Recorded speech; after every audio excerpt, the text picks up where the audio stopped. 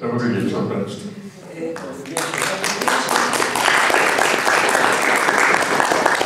Bardzo serdecznie witam Państwa na kolejnym otwartym spotkaniu czwartkowym, które wieńczy 16 lat otwartych spotkań czwartkowych. Wow. Mam zaszczyt i ogromną przyjemność przedstawić Państwu naszego gościa, pana Bogdana Kezika, Dzień dobry. boskiego człowieka, tego zabrakło w opisie na plakatach, y, człowieka niezwykle utalentowanego, y, działającego w przeróżnych obszarach kultury. Dobrze mówię, że muzyka z wykształcenia, ale więcej nie powiem, bo mogę popsuć.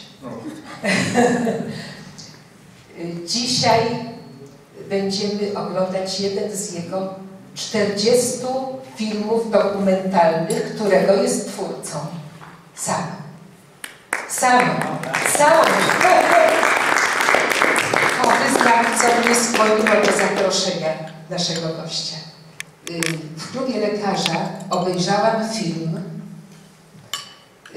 poświęcony Irenie Dziedzic zatytułowany O tej, która trzęsła telewizją. I zanim mówiłam ze wzruszenia yy, i bardzo się cieszę, że po zaproszeniu do nas nie dostałam kosza. Także serdecznie witam. To, I co? I co? I oglądamy? Czy na... Ja również witam Państwa i po raz pierwszy podobno będzie w tej formie wyświetlany film, gdzie po raz pierwszy ekran, sufitowy nadajnik. To mnie bardzo cieszy. A mimo, że jestem w szeregu czwartkowym, ale jednak po raz pierwszy. A jeżeli chodzi o towarzystwo, to czuję się tak jak w domu Państwo wszyscy, którymi miałem przyjemność się poznać tutaj, e, tak wyglądają jak starzy znajomi. To jest taki walor fajny i energia, o której mówiła Stanisława. To jest mądra kobieta i wiedziała, co mówi. To właściwie nie przedłużając, tyle chciałem powiedzieć. Prawda, że nie naukałam. Ja mówię, że jest kilka czakramów. Jest kilka czakramów. Słucham? Jest kilka czakramów. Nie tylko na Wawelu, w Nadarzynie też. Tu, tu, tu, ale to dzięki Państwu. Czakamy, oglądamy. Czakramów. Czakramów kilka, tak. No to co? Pogasimy światełka? Dobre? Tak. W pokoju maleńkim przy samym okienku całujemy się po ciemku.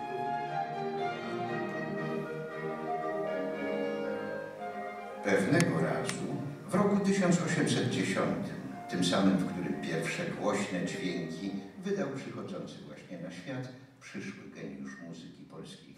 Brawa jeszcze. Brawa. Dotychczas tylko trzy filmy. Każda z nich jest dla mnie, w moim odbiorze, wielką perełką. Realizatorze perełek, usiądź Przepraszam, to przy ja stoliczku. pocałuję, bo ja jestem skupiona zawodowo i całuję. Ale jestem instalatorem tylko. Ale No to poczułam. tylko. Ja chcę dojść tam, bo wszystko się dowiedziałam. Tak? No właśnie. Zapraszamy do stoliczka z mikrofonem. To Na pewno macie pytania Państwo, ja będę biegać z drugim mikrofonem, żeby było słychać, jakie są. Pyta, py, pytania, nie tylko pytania. Powiedzcie o Waszym odbiorze, bo ja, ja chyba więcej nie umiem powiedzieć, bo, bo ja długo myślę, nim wydukam cokolwiek z siebie. Jest to wzruszające, że my coś, Polacy, którzy jesteśmy... Czekaj, czekaj, czekaj, czekaj, Wunia. Gdzie jestem? Proszę bardzo, słucham. Kochany, kochany, kochany, kochany. Piękny film. Czy Pan jest, y, że tak powiem, robi coś, y, y, znaczy projektowo, czy tylko Pan to wszystko zbierał i nam chciał przekazać? Czy jakieś propozycje Pan dawał, że tu walnijcie, tu zróbcie mo- mocniejsze fundamenty, czy nie? Tak, ale głównie chodzi o to, że ja tam spędziłem dużo czasu w hotelu europejskim. Właściwie holu tego hotelu zbierała się resztka bohemy warszawskiej, Aha, resztka, do której ja się nie zaliczałem, ale byłem kibicem i tam przychodzili ludzie od poniedziałku do piątku, zawsze, jak zresztą tam do, malarz Dominik, też mieszkający w Łomiankach obok mnie, powiedział, że i różnego typu towarzystwo, szemrane również, podziemne, cynkciarze, wszystkich znaliśmy po imieniu i nawet trochę bliżej się sami. Tam właśnie spotykaliśmy się na tym pięknym parterze, który został zlikwidowany, teraz go nie ma. Teraz hotel jest odbudowany zupełnie inaczej, w sposób dla mnie niepojęty, a nawet dziwny, bowiem nie ma holu, nie ma gdzie stanąć, usiąść i się spotkać. Tak, bo architekt wnętrza miał jakąś inną wizję. tak. Właśnie dlatego nawiązałem do tego holu. Tam było zbliżenie tej naszej barmanki, która Tak. mówiła kawę, reżyserzy. Część wiadomości na temat hotelu pochodziła z innego lokalu i od tych dyrektorów Orbisu. No, nie będę powtarzał akcji, ale dlaczego zrobiłem? Dlatego, że ja tam siedziałem. Stale można było kogoś spotkać. Nie powiem, że załatwiało się interesy. Od tego były inne miejsca branżowe w Warszawie. Architekci spotykali się gdzie indziej. Muzycy rozrywkowi w Nowym Świecie. Mm, Badylarze na Ordynackiej, tak zwani badylarze, którzy mieli pieniądze. Na Ordynackiej była taka kawiarnia, przez szklona było ich widać, oni nawet byli zadowoleni, że ich widać bo tak rozestawali się do szyby, do ulicy. Ja tam akurat mieszkałem wtedy na Nowym Świecie i widziałem. Więc e, zrobiłem go z sympatii dla hotelu, a właściwie w hołdzie dla tych ludzi, którzy stali za tym hotelem, dla tej pierwszej orkiestry, która już grała w zrujnowanym hotelu u hrabiego Czetwertyńskiego. To jest orkiestra Stefana Rembowskiego, która była pokazana. Stefan Rembowski pisał potem przeboje dla Marii, Marii Rodowicz. A, w ogóle, co to za ludzie? Wszyscy nie żyją, jeszcze tylko ja żyję z tego towarzystwa właściwie. Ale mówi Pan wszystko o takich, o, o artystach, prawda? Tak. Ja jestem, mówię, skrzywiona zawodowo i interesuje mnie, Pan mówi, że się architekci gdzie indziej spotykali. To skąd oni wiedzieli, że trzeba dotknąć się do tego, mieli jakiś taki pomysł, że to jest Warszawa i to trzeba Warszawie oddać i dlatego zrobili renowację tego, bo przecież to było straszne, że przecież te fundamenty mógł szlak trafić, przepraszam bardzo. To wszystko trzeba było naprawiać od zera, od podstaw. Ja już nie mówię, że teraz są przepisy pożarowe i tak dalej. Inne o, ocieplenia budynków. To wszystko ciężar był. Ja mówię o tym technicznym części. Kto się za to zabrał tak naprawdę? Kto miał taki pomysł? Właściciel? Pracownicy, architekci, robotnicy, wszyscy działali na rozkaz. Aha, A więc odłóg. profesor Pniewski z Pniew, ten prawdziwy Pniewski, wyhodował jednego ze swoich studentów, który również mieszka w Łomiankach, profesora, właściwie on był inżynierem, architektem, Kijowiczem. Ten starszy pan, który się wypowiadał. I hotel, jak był zburzony po wojnie, został odbudowany przez jednego ze studentów właśnie tego pana Kijowicza, który No bo on był profesorem na architekturze. I pan Gniewski zlecił mu na w ogóle całą architekturę temu panu Kijowiczowi. Pan Kijowicz zrobił, ale nie na hotelu, tylko na Akademię Wojskową. No taki miał rozkaz. Tak, miał rozkaz. Było powiedziane, że z zewnątrz wyglądał tak samo, ale w środku był przebudowany do potrzeb wojskowych. Szkolenia były tam rozmaite drążki, strzelnice były wewnątrz, tak. Ale to teraz dojdziemy do sprawy najciekawszej. Potem nastał Orbis. Orbis przyszedł znów do, już prosto do Kijowicza i kazał z powrotem przebudować na hotel. To było bardzo zabawne. No i z resztek tego marmuru, który został z dekoracji, zostały zrobione kamieniołomy, które się nazywały kamieniołomami. Dopiero potem, jak ściany zostały wyłożone tymi wszystkimi kamieniami. I tak kamieniołomy i tam się odbywały właśnie te Przepraszam, bo ja nie chcę tak Dobra. zabierać głosu wszystkim może, No właśnie. bo ja mam skrzywienie mówię, zawodowe. Ale się bardzo cieszę, bardzo Dzięki się cieszę. Dzięki. Proszę bardzo. Tasiemka. Ja y, jestem związana z hotelem europejskim rodzinnie, że tak powiem, y, bo mój tata był tam kelnerem. Y, I, i no, Nie włączony jest. też będę Może być Tak, kamieniołoma. Będzie kamieniołoma. A ja pracowałam w Orbisie i w tym o, w budynku hotelu ale Przepraszam bardzo, jest jest Stasia. Włączony. Tylko bliżej działacz. Dobrze, o, teraz. Y, Ja pracowałam w Orbisie i w, w budynku hotelu europejskiego, ale od, od krakowskiego przedmieścia. Natomiast mój tata pracował naprawdę w hotelu. Bardzo długo, aż do emerytury, że tak powiem. I także mm, to jest, to, ten hotel jest związany z moją rodziną. No i blisko też, bo tata i, i Bristolu najpierw pracował w Bristolu, a potem w europejskim.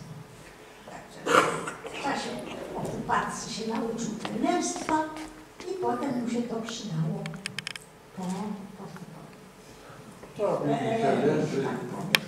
właśnie w hotelu europejskim, w hotelu Grand, nawet na Kruczej, zbudowany od nowa, przede wszystkim w Grand Hotelu w Sopocie, o którym mówiła Panna Kasprzyk. To byli kelnerzy pierwszej klasy.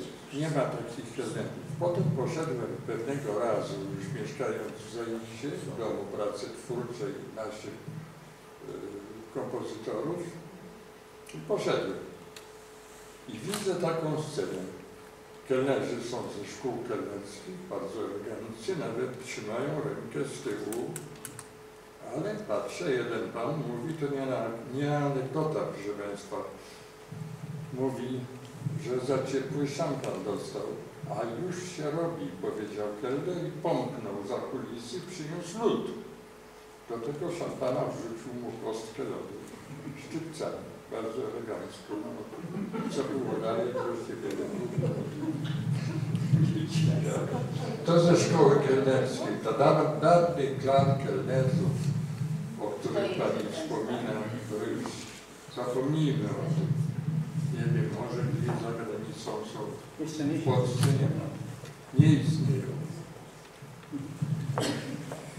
Andrzej Malinowski. Mąż. Mąż.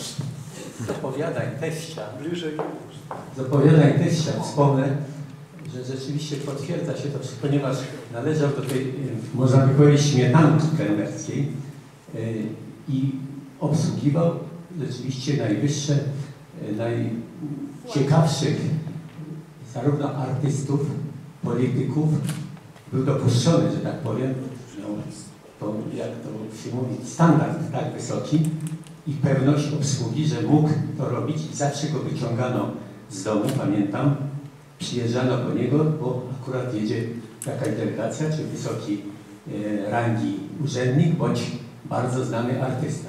wspominał o tym wszystkim, co tu w filmie było podawane i jeszcze trochę szerzej. Także pamiętam, a zaczynał, też opowiadał, zaczynał pracę jako kelner w Euro, nie w Europejskim, w jeszcze za czasów okupacji.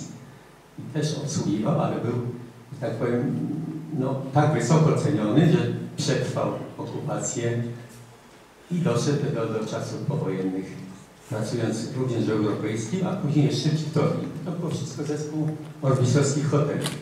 Będąc kelnerem rzeczywiście wysoki, bardzo wysokiej rangi. I to, co Pan mówi, y, to był ten standard ten najwyższy, jaki można było w zachowaniu kelnera w stosunku do klienta.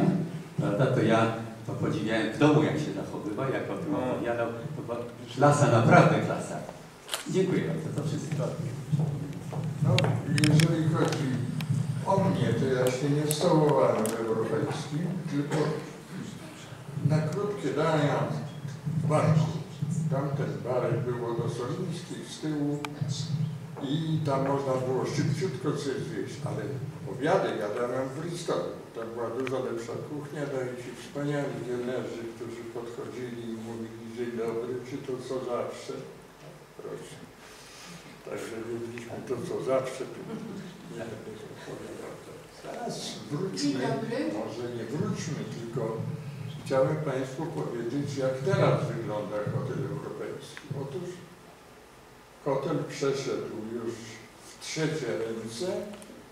Podobno właścicielką jest bogata z pochodzenia Polka, która ma 51% udziałów, ale mieszka w Dubaju. I zrobiła bardzo ciekawy remont, na tyle ciekawy, że hotel w środku w ogóle nie jest podobny do hotelu i nasze towarzystwo tam w ogóle nie chodzi. I po prostu nie ma tego holu teraz. To jest pierwsza sprawa. Druga sprawa bardzo dziwna. Idę ja tam, żeby zobaczyć pewnego razu, bo już 18 maja został otwarty, y, znaczy kawiarnia. Poszedłem tam, stoi fortepian, myślę sobie, zaraz zobaczę, co to za marka, bo się interesuje i jak gra. Biorę klapę, ale klapa się nie rusza. To jest rzadkość na świecie, że fortepian w holu hotelowym był zamknięty. Ale znalazłem karteczkę. Karteczka leżała bardzo elegancko napisana, biała z ramką i złoty druk. Karta do fortepianu w recepcji. Tajemnicze hasło, karta do fortepianu. Co to jest? Idę, wziąłem kartę, no i tą kartę tam się klapowo. Możemy mieć klapę. Oczywiście nie wziąłem tej karty i dałem spokój. Teraz jest inaczej. Teraz to towarzystwo, które chodziło do hotelu europejskiego, zbiera się pod wodzą reżysera Jurka Gruzy. Tak. W kawiarni Kultura. Koło kina Kultura na Krakowskim Przedmieściu jest kafe Kultura i oni tam przychodzą. Łącznie z koleżanką Frykowską, która jest związana z Frykowskim, a Frykowski, no nie będę mówił, z morderstwem. No i co by tu jeszcze powiedzieć? Wolałbym właściwie odpowiadać na pytania Państwa, bo tak można o tym hotelu mówić, mówić i mówić i przez pryzmat hotelu mówić właściwie o wszystkim. O jedzeniu, o podrywie, o komunii, o dyplomacji, O tych o malarzach, panienкach. artystach, o wszystkim. Przez pryzmat. To posłuchamy o podrywie. Odpowiedzieć na pytania, jeżeli jeszcze są. Tak, może pan usiądzie. Tutaj tak, jeszcze ja. Słucham? Może pan usiądzie, proszę. Ja wolę stać. Dobrze, dobrze. Bardzo przepraszam. Tak. Siedzę długo przy komputerze i wolę sobie postać. A więc jeżeli... A ja panu przede wszystkim bardzo chciałam podziękować za tak wspaniały film, po prostu za naszą historię. To jest bardzo ważne. Mamy tak mało takich dokumentów, że naprawdę bardzo, bardzo dziękuję. Proszę bardzo, jestem zaszczycony, że mogłem puścić w tak pięknym wnętrzu i z tak czynną Stanisławą Osus nazwiska. A jeżeli chodzi o ten film, to ja go nie widziałem właściwie od czasu, kiedy go zrobiłem, a więc jakieś 20 lat temu. I powiem Państwu, że teraz bym go zrobił troszeczkę inaczej. Zauważyłem pewne dłużyzny, które teraz bym wyciął. Skróciłbym go o 10 minut bez szkody dla filmu. Ale to praktyka, to był jakiś trzeci albo czwarty mój film, zupełnie amatorski. Teraz nie. Czy mogę o coś Zaraz Kasienka, za chwileczkę. Tutaj. Na razie tak. Proszę się przedstawić. Aleksandra Misicka. Y, Gratuluję oczywiście. I y, mam pytanie, bo tam jest taka scena, y, y, gdzie Pan rozmawia z, z osobą, która jest spadkobiercą, tak? Taki chłopak, który powiedział, że on pierwszy raz tam był y, przywieziony do europejskiego, prawda? Czy to była rodzina, która teraz odzyskała jakby ten, ten, ten hotel? To była te, rodzina tego On to tak powiedział. Czerwiętyńskiego, tak? Jak pan do niego dotarł? O, To właściwie Potoccy odzyskali i ten pan Potocki, który obiecywał, że w 2008 roku to on zaprasza y, warszawiaków i że będzie tak jak dawniej. A ten pan z kolei Ksawery, to jest pan Ksawery Włosowski, który jest historykiem w ogóle hotelu. Na otwarcie, które się ma odbyć, oficjalne otwarcie, bo jeszcze nie było. Przynajmniej ja nie wiem, bo Bo ja tam chodzę miałem być zaproszony, miałem być zaproszony, a nie byłem. Myślę, że może by chyba nie pominął, bo przed, otwar- przed planowanym otwarciem przyszedł do mnie pan Wójcowski do Łomianek i poprosił o długi wywiad, jak to było. No, ja mu wszystko powiedziałem, jak to było. Powiedziałem mu, zaraz mi się hotel nie bardzo podobał, nie był zadowolony. Ale on jest historykiem i mają wydać księgę 99 egzemplarzy w drewnianych okładkach, czyli będzie od deski do deski, jak się kiedyś mówiło. Historia hotelu, 999 stron. W tym kilka moich, które ode mnie otrzymał jako w wersji ustnej, no nagrał sobie na pendrive'a i miał to umieścić. I również kilka zdjęć, które ja miałem, a on nie miał chodziło. Także to był pan Sawery Wąsowski, hrabia, jeden z tych 150, prawie 150 spadkobierców, którzy mają łącznie 49% Aha, ta pani, co ma 51, to w ogóle jest królowa. Dziękuję. Czy mogę zadać następne pytanie? Mogę? Katarzyna Naja. Ja jestem zaintrygowana w ogóle tym, ja jestem zaintrygowana tym filmem, bardzo mi się podoba, ale interesują mnie pozostałe państw, Pana filmy.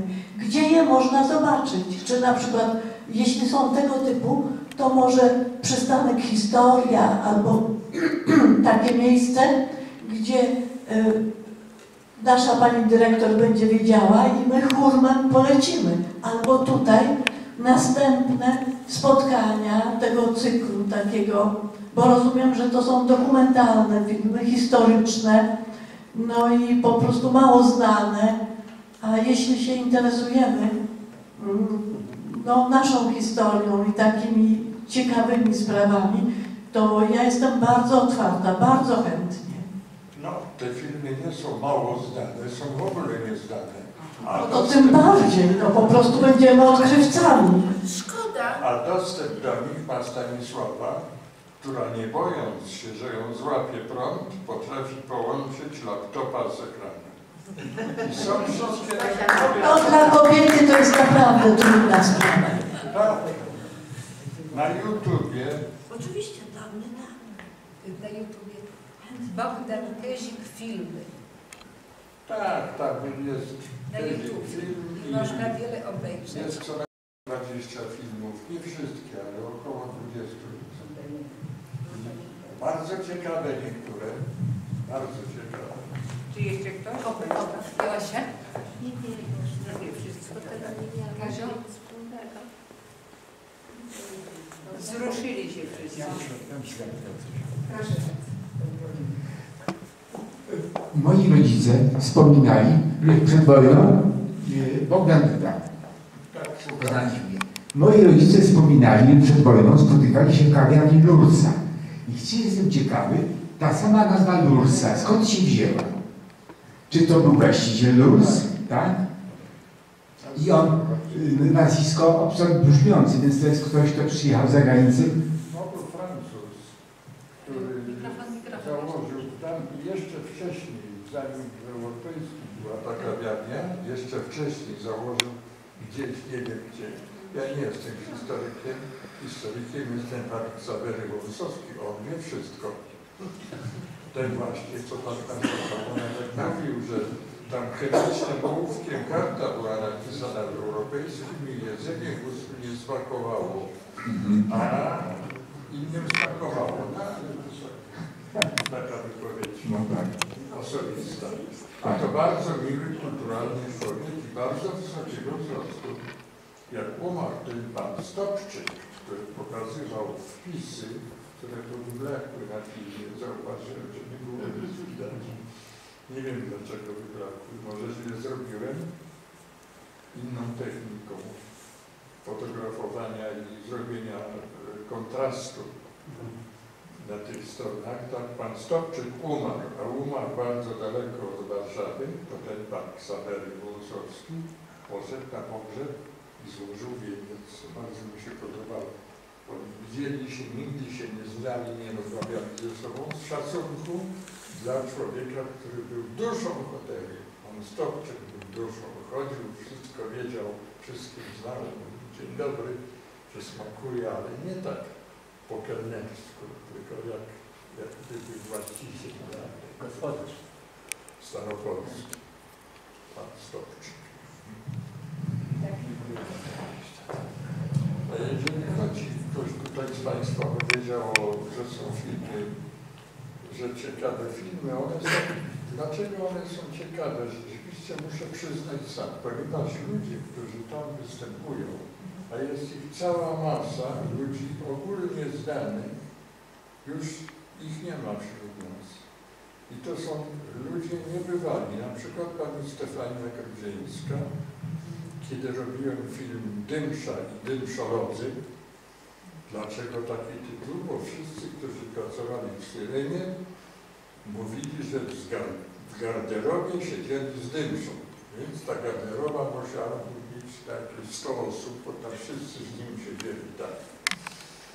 No i przy tej dymszy, przy tym dymszy poprosiłem również panią yy, Rodzieńską o wypowiedź.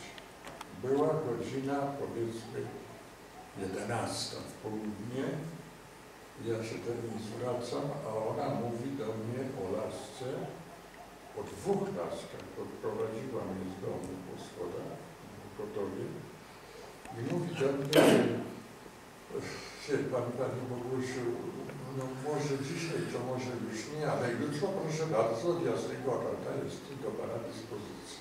To byli tacy ludzie. Ja nie wiem, czy teraz są, teraz ludzie nie mają czasu. To jest wartość tych filmów. Tam są tacy ludzie, masowo występują w tych 40 filmach. Również ostatnim Renarowska Gwiazda Stulecia. Tam się przebija cały wachlarz, ale jeszcze go nie ma na YouTubie. Najpierw musi zobaczyć Gwiazda 19 stycznia Domu Kultury w mieście Rasmonday. Dlaczego 19 stycznia? Bo Gwiazda będzie miała 88 lat. Oczywiście ona na moim filmie ma 100 lat. Lektor mówi, że każda prawdziwa kobieta odjęła sobie dwa razy po 6 lat na 80. To wygląda. Ja mam szczęście widzieć trzeci pana film i wielki pokłon, dlatego że one mają swoją atmosferę. Pierwszy film, który obejrzałem był o Irenie Dziedzic i tam co mnie uderzyło to to, że y, jest y, ta osoba przedstawiona po prostu jest przedstawiona, bez żadnych komentarzy, bez żadnych podtekstów, ani Pan nie chwali, ani Pan nie szczuje i to jest właśnie, to jest właśnie piękna cecha dokumentalisty. No, Bo, bardzo łatwo kogoś y, obrzucić czym y, są jakieś tam powiedzmy pogłoski niesprawdzone, a to się potem lecze. A Pan robi to przepięknie. Te Pana filmy mają naprawdę atmosferę taką ciepłą. A to, że, że przebijamy i że to jest, to jest dokument historii. To jest, to tak jak kiedyś było to na papirusach, to dzisiaj jest w ten sposób. Ale właśnie co spojrzałem na twarz Astel Polski, tam się pokazał, no, a Marek Nowakowski pisał właśnie taki warszawski, to jest taki, on też y, nie był, jak to się mówi, z tej błękitno-krwisty, ale jak on doskonale siedział i tak pięknie komponowany jest całość tego. No ale to jest życie, po prostu życie. A to, że tam się kotłowało tak to wszystko razem i no to wszystko ma swój smaczek, no to jest folklor, jak to się mówi, ale w sensie takim yy, szerszym. No, i- a czy teraz może nam znowu też się tak zrobi, takie to towarzystwo. Tak Pan mówi, że yy, liter, liter, no, literaci tam, aktorzy tu. To jest taki znak czasu, wydaje mi się. No, Bardzo proszę. Dobry wieczór Państwu. Ja chciałem serdecznie podziękować Pani za zaproszenie. W związku z tym, że historii się uczyłem parę razy z różnych barier i tak dalej, jak ona powstawała, w których latach i tak dalej. Generalnie rzecz biorąc, przypomniałem sobie od tam 40 paru lat hotel europejski, jak on był. Tak, no, nie chcę powiedzieć, no czasu do czasu poszło się, zobaczyło i muszę powiedzieć to, co Pan mówił, że w tamtych latach masę aktorów poważnych i tak dalej, ludzi przechodzili tam w tych kawiarniach na dole, tam gdzie były takie te. No ale to się rozwijało, to się potem zmieniało. Już parę lat hotel ten był nieczynny. Dzisiaj jak się pójdzie, spojrzy, to jedna kondynacja wyżej dobudowana tam i tak dalej. No i podobne i co najistotniejsze, potężne ceny kawia, kawy i tak dalej, i tak dalej. Muszę powiedzieć, że jako człowiek coraz to młodszy, w związku z powyższym sporo się, że tak powiem, jeździ. I po polskich, że tak powiem, pałacach Krzyżu, y, y, Moszna i tak dalej. W każdym kraju mamy kilka krakowskie. No i muszę powiedzieć, że to się rozwija, to jest atrakcyjne. No i co najistotniejsze, tu padło, że tak powiem, nazwa Dubaj. Żeby, że tak powiem, zobaczyć historycznie, byliśmy z żoną niecały miesiąc, wróciliśmy z Dubaju i tak dalej.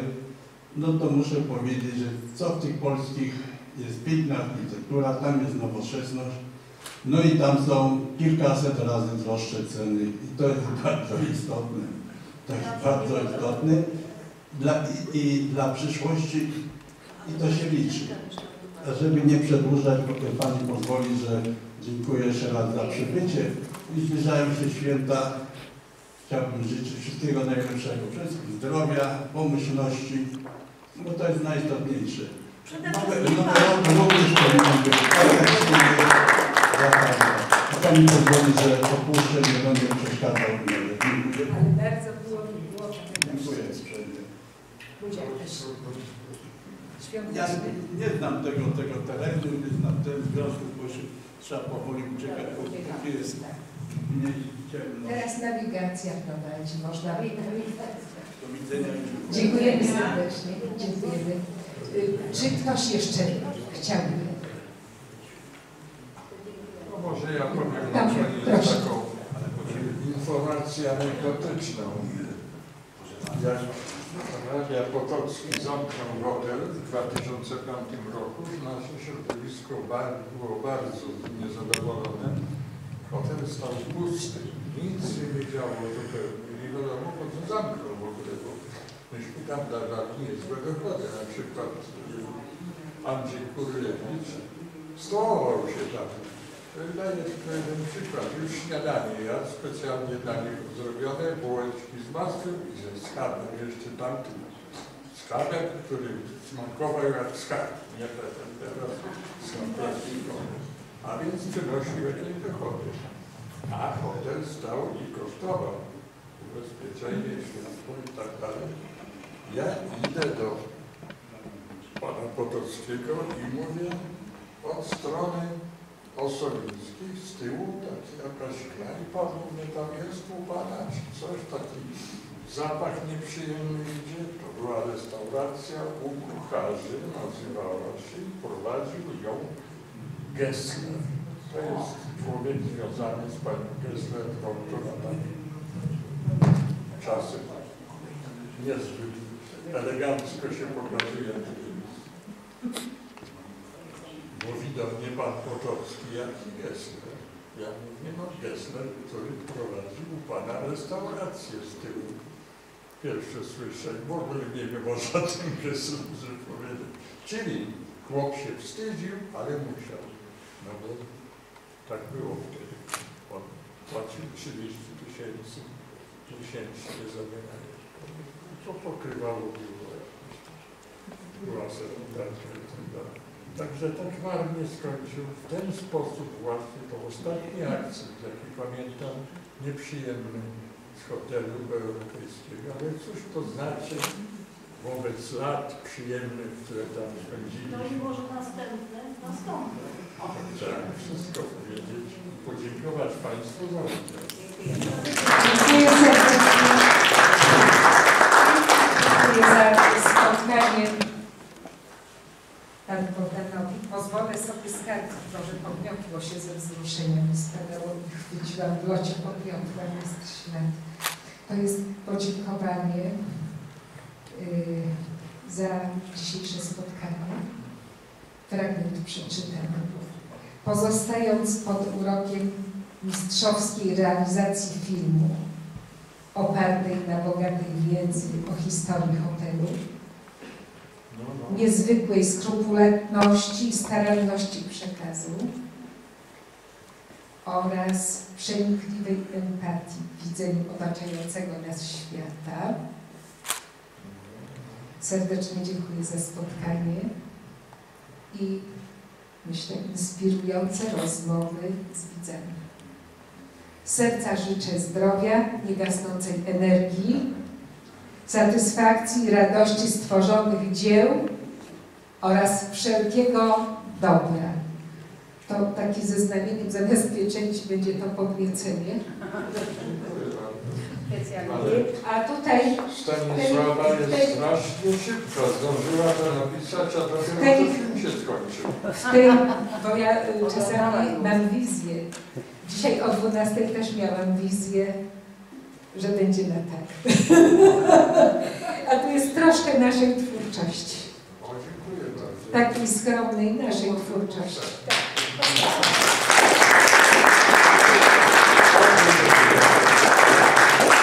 Dziękuję Państwu bardzo, bardzo serdecznie, że mogliśmy być razem.